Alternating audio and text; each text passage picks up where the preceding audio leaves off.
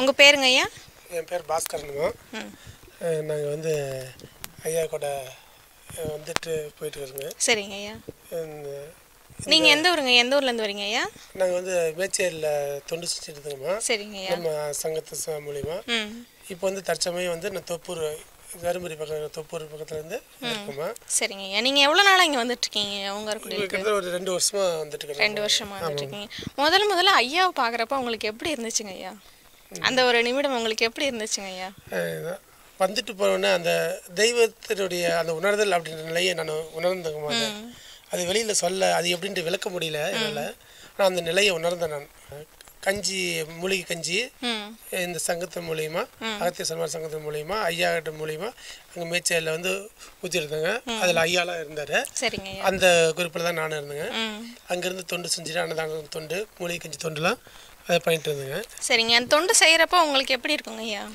அதாவது மற்ற ஒரு செயல் செய்பாரத்துக்கும் இது அன்னதானம் இது மாதிரி தொண்டு செய்கிறதுக்கும் ஒரு ஒரு புரியாத ஒரு அது வார்த்தையே எப்படி சொல்கிறதுன்னு தெரியலைங்க. அதுதான் புரியாத ஒரு சந்தோஷம். மன நிறைவாக இருந்ததுங்க. இன்னும் அதில் நிறைய நம்ம ஈடுபடணும். நிறைய தர்ம காரியங்கள் தொண்டெல்லாம் அதை செய்யணும் அப்படின்ற ஒரு மன உறுதி எண்ணத்தில் செயல்பாடுகள்லாம் அது ஏற்பட்டுச்சுங்க சரிங்க. அந்த அருட்கஞ்சியோ இல்லை அன்னதானமோ வாங்கி சாப்பிட்ற மக்கள் உங்ககிட்ட என்ன சொல்கிறாங்க எதுவும் சொல்லியிருக்காங்களா இது வரைக்கும்? நிறைய சொல்றாங்கம்மா. வேற இது மாதிரி கஞ்சி நான் குடிச்சதே இல்லை. இது நல்லா இருக்கு. இது மாதிரி எங்களுக்கு சளி பிடிச்சிருந்தது. இந்த கஞ்சி குடிச்சது மூலியமா நல்லா இருந்துச்சு. ஆஸ்துமா பிரச்சனை மாதிரி இருந்துச்சு. இது இந்த கஞ்சி மூலிகை கஞ்சி கொடுத்த உடனே குடிச்ச உடனே எங்களுக்கு இப்பெல்லாம் அது இல்லை அப்படின்னு சொல்லி சொன்னாங்க. அது கேட்கும்போது ரொம்ப சந்தோஷமா இருந்தது. இப்படி ஐயானுடைய மூலிகை கஞ்சி சாப்பிட்டு இவங்களுக்கு வந்து நோயெல்லாம் தீர்க்க அளவுக்கு அவங்க இருக்குன்னு சொல்லி மனம் சந்தோஷமா இருந்ததும்மா சரிங்க. நீங்கள் தொண்டு செய்கிறப்ப குடும்ப சூழ்நிலையாலோ இல்லை எதோ ஒரு சூழ்நிலையில் மன சங்கடங்கள் இருந்தாலும் அவங்க இப்படி ஒரு சில வார்த்தைகள் சொல்கிறப்போ உங்களுக்கு இன்னும் ஒரு புத்துணர்ச்சியை இன்னும் நிறைய செய்யணும் அப்படின்ற மன உணர்வு வந்திருக்குங்களாங்க ஐயா?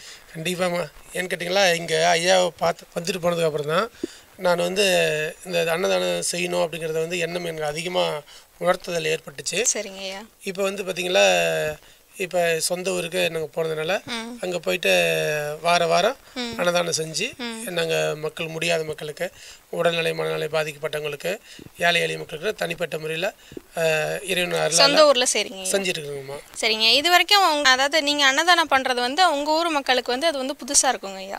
இது வரைக்கும் பண்ணாமல் இப்போ வந்து புதுமுறையாக பண்ணுறனால அவங்க உங்ககிட்ட என்ன சொல்கிறாங்க ஐயா? ஊரில் இருக்கவங்களுக்கு தெரிஞ்சவங்களோ இல்லை உங்கள் பக்கத்து வீட்டில் இருக்கவங்களோ வந்து நீங்கள் ஒரு புதுமுறையாக வந்து அன்னதானம் பண்ணுறேன் அப்படின்னு சொல்லி சொல்கிறீங்க அதை பார்த்துட்டு அவங்க என்ன சொல்கிறாங்க ஐயா? நான் வந்து அவங்களுக்கு விளக்க உரை கொடுக்குறேம்மா. இப்போ என்ன அன்னதானம்னு சொல்லி கேட்குறாங்கம்மா நான் சொன்னேன் இது மாதிரி வந்து நாமக்கல் பக்கத்தில் துறையூரில் அஹ் ஆறுமுக ஆறுமுக தேசிகரன் ஐயா இருக்காரு. அவர் வந்து அந்த இடத்துல டெய்லி ஏழை எளிய மக்களுக்கு பத்தாயிரம் பேத்துக்கு மேலே அன்னதானம் உணவு இது மாதிரிலாம் செஞ்சுட்டு இது மாதிரி இந்த தர்ம காரியங்கள் நிறைய செஞ்சுட்டு இருக்காங்க. அவருடைய கொள்கை என்னன்னா இந்த ஆடு மாடு கோழி உயிர் கோழி செய்ய வேண்டாம். மக்களுக்கு வந்து தர்ம காரியம் செய்யுங்க.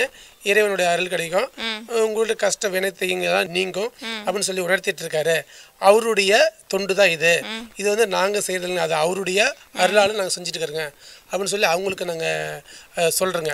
அப்படிங்களா? அவர் யார் என்னன்னு கேட்குறாங்க அது வந்து இந்த அகத்திய சன்மாசத்தில் ஃப்ளெக்ஸ் போர்டு ஐயா வாங்கிட்டு பண்ணேன். அதை காட்டி ஐயாவுடைய உருவப்படத்தை காட்டி இவர் தான் நம்ம அருமக தேசிகர். இவர் தான் வந்து அங்கே செஞ்சுட்டு இருக்காரு துறையூரில் இவருடைய அருளால் தான் நாங்கள் செஞ்சுட்டு இருக்கிறோங்க அப்படின்னு சொல்லி நாங்கள் விளக்க உரை கொடுக்குறோங்க.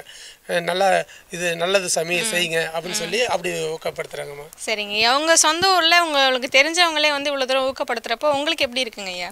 எனக்கு அதான் முன்ன சொன்ன மாதிரி. இன்னும் நிறைய செய்யணும் அப்படின்ட்டு இப்போ வாரத்தில் ஒரு நாளைக்கு தான் செஞ்சுட்டு இருக்கேன் சரிங்க அனுமாருக்கு வந்து டெய்லி சாப்பாடு செஞ்சு கொண்டு போய் வச்சுட்டு இருக்கிறேங்க இப்போ வாரத்தில் ஒரு நாளைக்கு வந்து வெள்ளிக்கிழமை நாள் அன்னதானம் செஞ்சுருக்கேங்க இப்போ ஐயா கிட்ட வந்து வாரத்தில் ரெண்டு நாளைக்கு செய்யணுங்க. அதுக்கு வந்து எனக்கு உத்தரவு கொடுன்னு சொல்லி நம்ம ரவி கிட்ட சொல்லி கேட்டுங்க. அது கேட்ட உடனே அவர் வந்து தினம் செய்ப்பா அப்படின்னாரு. தினம் வந்து டெய்லி யார்ட்டாவது வாங்கி இன்னும் செய்ய நான் வாரத்தில் ரெண்டு நாளைக்கு தான் செய்யணும்னு சொல்லி கேட்டுங்க. ஆனால் அவங்க வந்து ஐயா தினமும் செய்யுன்னு சொன்னாங்க அது ரொம்ப எனக்கு அப்படியே எண்ணம் சிரிச்சிருச்சு எனக்கு. நான் ரெண்டு நாளைக்கு தான் உத்தரவு கேட்டேன். அவர் தினம் செய்யுன்னு சொல்லும்போது முருகப்பெருமான் வந்து இப்படி ஒரு வாய்ப்பு நமக்கு கொடுத்துருக்காரு அப்படின்னு சொல்லி பாருங்க எனக்கு வந்து கண் கலங்குது. அது உணர்வுபூர்வமாக இருக்கு. அந்த இவர் வந்து அந்த ஒரு சித்தர் நெறியில பார்க்கணுங்க அது இறைவனே வந்து இந்த கலிகாலத்தில் இப்படி ஒரு ஒரு முருகப்பெருமான் தன் அந்த அவர் உடம்புல இறங்கி முருகப்பெருமான அவதாரம் எடுத்து இந்த தர்ம காரியம் செஞ்சுட்டு வர்றாருன்னா இப்போ வந்து மற்ற இடத்துல பார்க்காத ஒரு செயலாக நான் கருதுறேங்க. கண்டிப்பாங்க ஐயா. இப்போ வந்து நான் மனசில் நினச்சது வந்து ரெண்டு நாளைக்கு தான். ஆனால் இருந்தாலும் என்னோட ஆசையை புரிஞ்சுக்கிட்டு ஐயா எனக்கு அன்னதானம் செய்யணும் இன்னும் நிறைய செய்யணும் அப்படிங்கிற ஒரு எண்ணத்தை வச்சு டெய்லியும் செய்ய அப்படின்னு சொல்லி ஒரு ஆசை கொடுத்ததா சொன்னீங்க ஐயா. இதை பார்க்குறப்போ வந்து உங்களுக்கு எப்படி இருக்குங்க ஐயா மனசில்? அதாவது அது சொல் வார்த்தையால் சொல்ல முடியல அப்படின்னு சொல்றீங்க. இங்கே வந்து உணர்ந்து பார்த்தா தான் முடியும் அல்ல அதுதான்மா உண்மையை தான் ஆனால் இருந்தாலும் எனக்குள்ள இருக்கிற நான் வந்து அந்த இறை தொண்டு வந்து தினமும் செய்யணும். நம்மளால முடிஞ்சது.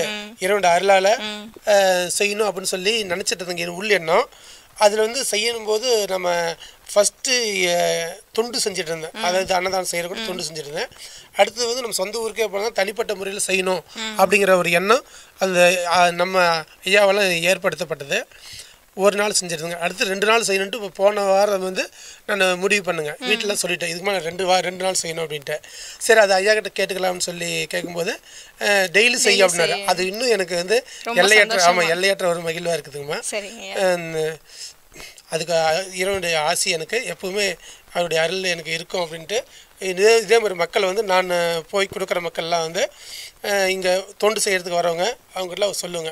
உங்களால் முடிஞ்சது வாரத்தில் ஒரு நாளைக்காவது ஒருத்தருக்காவது அன்னதானம் செய்யுங்க அப்படின்னு சொல்லி நம்ம குருநாதர் வந்து சொல்லிட்டு இருக்காரு நீங்கள் பெருசாக நீங்கள் வந்து பணங்காசு அதிகமாக செலவு பண்ணாலும் நீங்கள் வீட்டில் செய்கிறத விட ஒரு வேலைக்காவது கொடுங்க. அது தர்ம காரியம் செய்யுங்க அப்படின்னு அவர் சொல்லிட்டு இருக்காரு அதை செய்யுங்க அப்படின்னு சொல்லி என்னால் முடிஞ்சது அப்படி சொல்லிட்டு இருக்காருங்கம்மா சரிங்க. ஐயா. ஐயா ஆசை கொடுத்த மாதிரியே உங்களோட இந்த ஆசை வந்து கண்டிப்பாக நிறைவேறணும். நீங்கள் டெய்லியும் வந்து நிறைய மக்களுக்கு அன்னதானம் செய்யணும். ஆசான் கிட்ட நாங்கள் வேண்டிக்கிறோங்க ஐயா. ரொம்ப நன்றிங்க ஐயா. இவ்வளோ தூரம் உங்களோட அனுபவத்தை உணர்வுபூர்வமாக மக்களுக்கு புரியும் விதமாக அதாவது உங்களோட ஸ்பீச் பார்க்கும்போதே வந்து ஒரு மனநெகிழ்வோட நம்மளும் இங்கே வரணும் அப்படின்னு ஒரு ஆர்வத்தை தூண்டுற மாதிரி உங்கள் குரல் இருந்துச்சுங்க ஐயா. நிறைய பேர் உங்கள் ஸ்பீச் கேட்டு இங்கே வருவாங்க. நாங்களும் ஆசான் கிட்ட வேண்டிக்கிறோங்க. அதே மாதிரிமா நான் வந்து இங்க வரும்னு சொல்லி நினைக்கும் போதெல்லாம் ஏதோ ஒரு வழியில வந்து அவர் டக்குன்னு என்ன ஏதோ ஒரு வழியில வாய்ப்பு கொடுத்துறாருங்க. ஃபோன் சொல்லி நினைச்சா போதுங்க. அது வந்து இந்த இதுக்கு முன்ன இப்போ வந்தது இதுக்கு முன்ன வந்து ஐயா மூலியமா எனக்கு வந்து கிடைச்சதுங்க. மென்மேலும் அவருடைய அருள் வந்து அதனால இன்னும் நிறைய பேர் கொடான் கோடி மக்கள் வந்து பலனடைவாங்க எனக்கு நம்பிக்கை இருக்குதுங்க. கண்டிப்பாங்க ஐயா. உங்களோட இந்த மனநிலை கண்டிப்பாக நிறைவேறணும்னு நாங்கள் ஆசான் கிட்ட வேண்டிக்கிறோங்க ஐயா. ரொம்ப நன்றிங்க நன்றிங்கம்மா.